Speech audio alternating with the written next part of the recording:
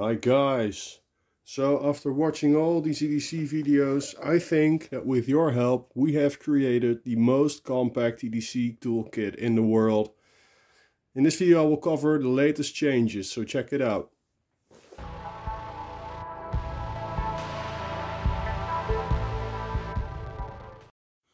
So the purpose of this kit is to have tools that cover the most common jobs when you're not at home.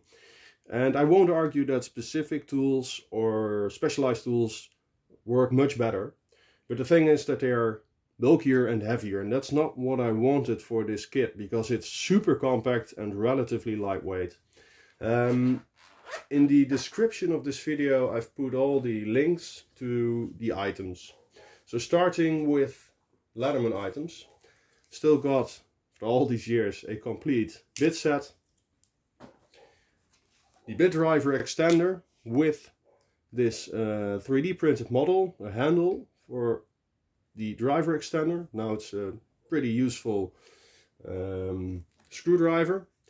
I replaced the ratchet, crappy ratchet, with the uh, Leatherman ratchet also fits nicely in this uh, holder. And yeah, it's I found it is a really useful screwdriver. So yeah, of course, still got the Leatherman Surge, one of the best multi-tools you can get, uh, in my opinion. The CRKT CEO, super compact uh, gentleman's knife. The Olight S2, um, this one is of course discontinued. I think it's several years old already. But uh, a good alternative, or the best alternative, is the S2R. And the only difference is, yeah, its shape is kind of different. But you also get a charger, I've noticed. And that's, yeah, a pretty useful thing. I've also put the link to that one in the video uh, description as well. Got a pencil, the socket holder with the sockets from 4mm up to 30mm, some hex bits or the screw extractors actually, and some micro bits.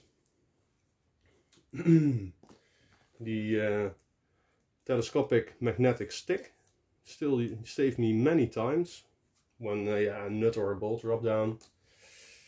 Uh, I got some tape over here. This is the yeah the Teflon tape, some electrical tape, duct tape and at the back some uh, steel wire.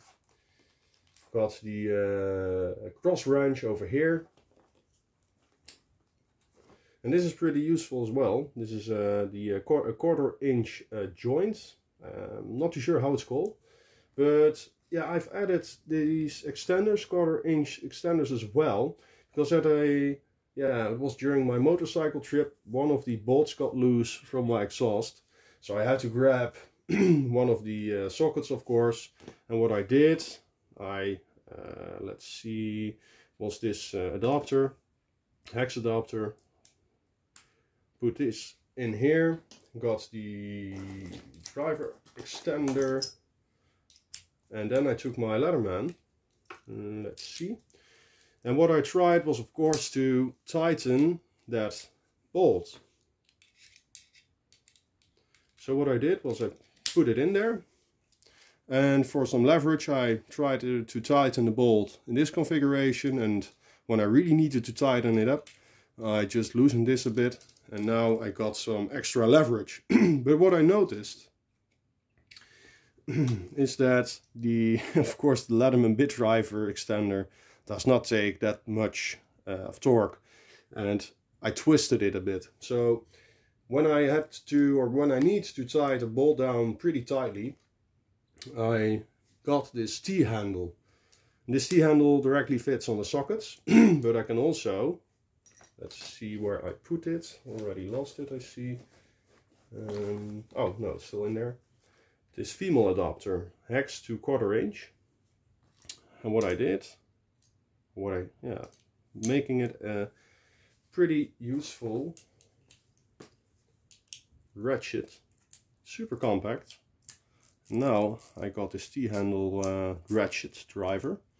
But yeah, of course, when I uh, really need some leverage, that this is something I still need to test out in practice. I'm planning to take these extend extenders and put them on there. So now I also have some pretty decent leverage to tighten some bolts. Um, yeah, that's that's basically it for nuts and screw tightening. Yes, yeah, I've got the joint. That's of course also pretty useful with this uh, T-handle. What I can do is put this on there like so.